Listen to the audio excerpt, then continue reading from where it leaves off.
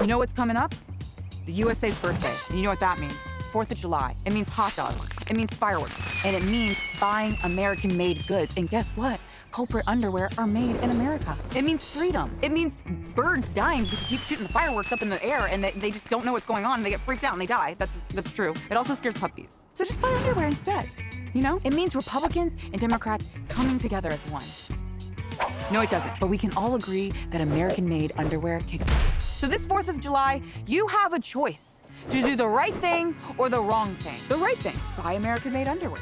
The wrong thing, are you gonna buy some shitty underwear made in China on Amazon today, on America's birthday? Are you gonna do that to our country?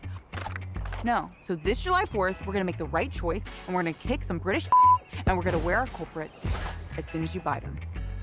Now. Buy them now. It's like fireworks in your pants. Wait, no, it's not. That would suck. It's not like that, but it's it's it's good. It's like a bald eagle in your pants. No, that would suck too. It's like the freedom that bald eagle experiences when he's flying in the sky. So put them on your bald eagle and fly free today at culpritunderwear.com. Click that link. America's watching. I see you, Snowden.